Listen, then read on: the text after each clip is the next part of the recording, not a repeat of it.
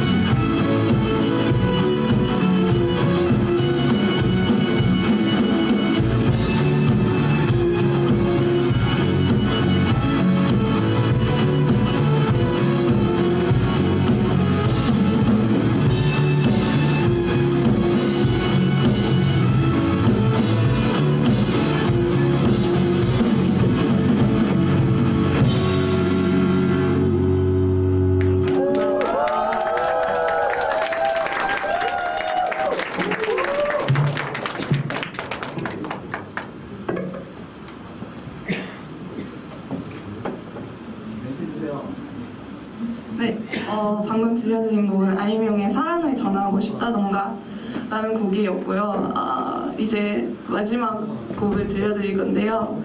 어, 마치라는 가수의 Lovers 들려드리고 저는 내려가도록 하겠습니다.